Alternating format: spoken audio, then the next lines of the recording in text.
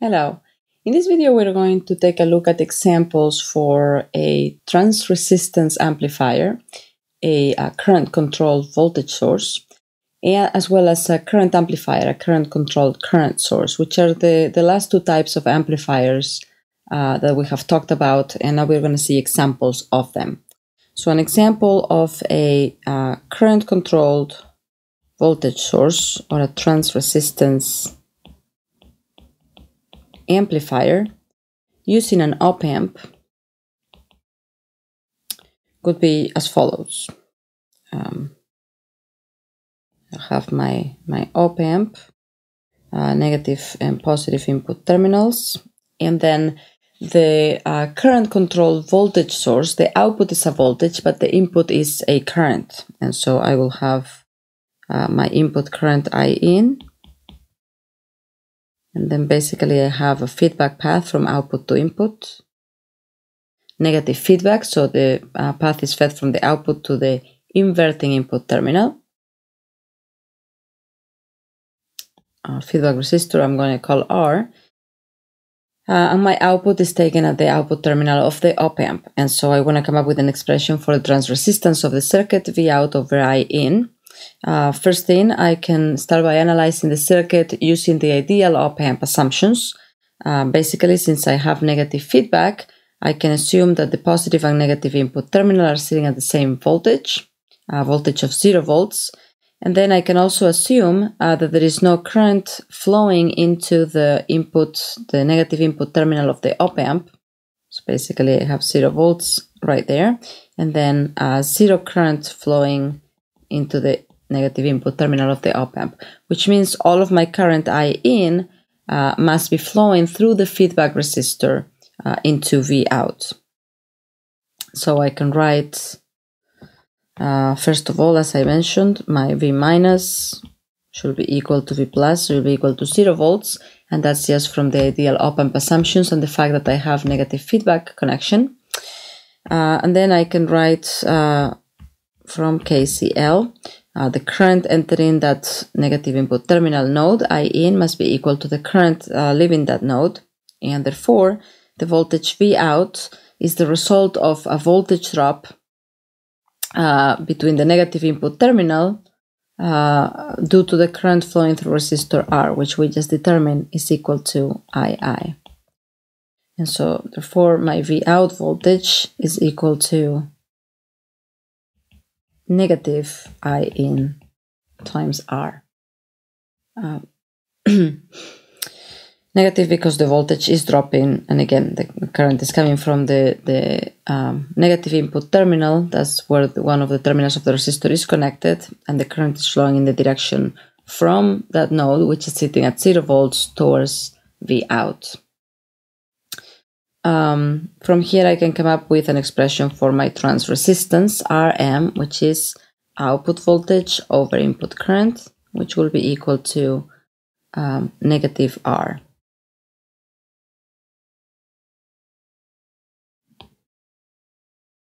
So this will be an example of a trans resistance amplifier. Uh, and then finally, an example of a, a current amplifier, a current control current source.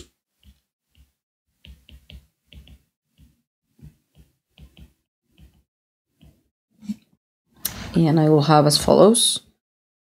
An op amp with its two uh, terminals. And I'm going to have um, also a, a current input since it's a current controlled uh, current source.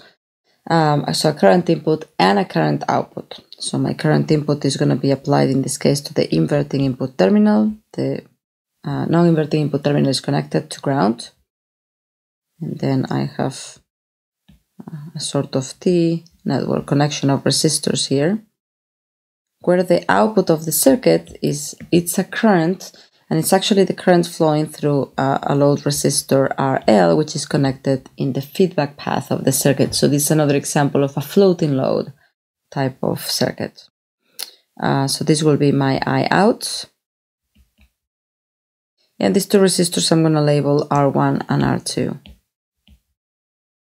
where R1 is also connected to ground. Uh, so I can see uh, several things here, but for one thing, I'm going to notice that the um, since we have a negative feedback connection and I'm assuming that uh, the op amp is an ideal op amp connected in negative feedback, then the voltage at the inverting input terminal must be equal to the voltage at the non-inverting input terminal, so equal to 0 volts. And also the current going into the negative input terminal of the op amp must be equal to 0, so all of II or I in is flowing through resistor R2. Okay, um, now if the current is flowing through resistor R2 in that direction, that means that uh, there's going to be a voltage drop across resistor R2 so that there's going to be a voltage uh, V2 um, uh, at this node, which is going to be lower than zero volts, lower than ground. And so I can say by Ohm's law,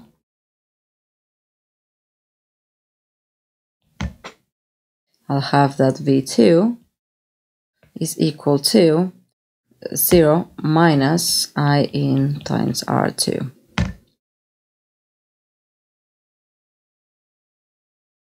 Now, because I have a negative voltage at that node, V2, then a current is going to develop by Ohm's law because there is a voltage differential across resistor R1. This node is sitting at 0 volts, this node is sitting at some negative voltage, and therefore I'm going to have a current flowing in that direction. I'm going to label it I1 since it's the current flowing through resistor R1. And uh, also by Ohm's law, I1 is going to be equal to uh, the voltage across resistor R1 divided by the resistance, or 0 minus V2 divided by R1. And now I can go ahead and apply KCL uh, to figure out the value of I out. Uh, sum of the currents entering node V2 equals sum of the currents leaving node V2. The two currents entering are II and I1. The current leaving is I out. And so by KCL, I have that I out is equal to I1 plus II. Um, and so I out is equal to, and um, I can see from the first expression that uh, from, from my Ohm's law expression where I have I1 is equal to negative V2 divided by R1 that I can replace V2 by its value and um, come up with an expression of I1 in terms of II. So this will basically be equal to negative V2. V2 is negative II times R2, so I can express this as II R2 divided by R1. And so I can just rewrite this as um, II times R2 divided by R1 plus 1. And so then I have an expression, or I can come up with an expression for the ratio of my output current to the input current, I out over I in, which is beta, the current gain, which is equal to basically 1 plus R2 divided by R1.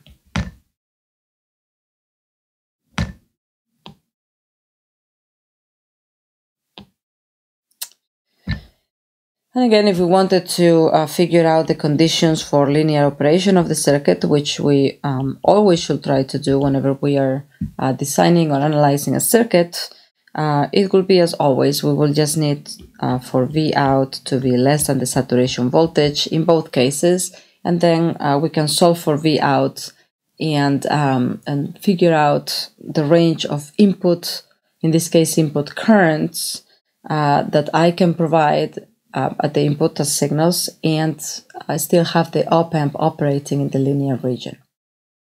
Uh, so this concludes um, examples of the different types of, of amplifiers. We have covered um, voltage amplifiers, transconductance amplifiers, transresistance amplifiers, and, and current amplifiers. Um, you can see that the techniques that we have been using to analyze these circuits are always the same uh, we start from the ideal op amp um, uh, model. And so we consider the, the three particularities or the three idealities, three assumptions that we make is one, the current flowing into the input terminals is equal to zero. Um, that's because we are assuming the input resistance to be infinity. Two, we are assuming that uh, the um, output resistance of the amplifier is equal to zero, and therefore um, we're assuming that the amplifier can provide um, any output disregarding pretty much, at least for the time being, uh, disregarding its current limitations. And uh, three, we're assuming that when the op amp is connected in negative feedback, and only when it is connected in negative feedback, we can assume uh, V plus and V minus to be equal to each other, the voltage on the positive and negative input terminals to be equal to each other. Um, with those assumptions and then just the standard rules of circuit analysis, Ohm's law, Kirchhoff current law, Kirchhoff voltage law, we should be able to analyze any op-amp circuit, uh, no matter how complex, no matter how many uh, op-amps or different components in the circuit. Um, and so the next type of circuits using op-amps we're going to be looking at are circuits to solve mathematical operations. Thank you.